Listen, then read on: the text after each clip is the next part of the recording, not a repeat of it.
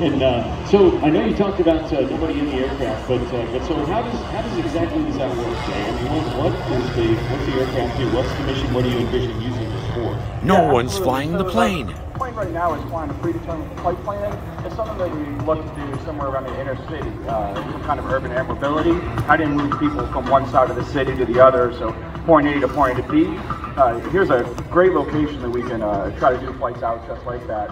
Um, you know exactly where everyone's going to be in the crowd. We want to show everyone like a the Tesla plane. for an We airplane. let it fly to the north end. As it's almost up that way, it's starting to slow back down. Uh, it's going to come into a hover. It's going to turn right back around, fly all the way back down to the south end of the field. We really want everyone here at Oshkosh to have a chance to get to see the aircraft. Off, uh, what we're working on next. Uh, one quick thing I want to point out as it's going by.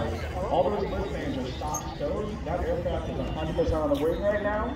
It's flying around with a pusher motor like a normal aircraft. Wow.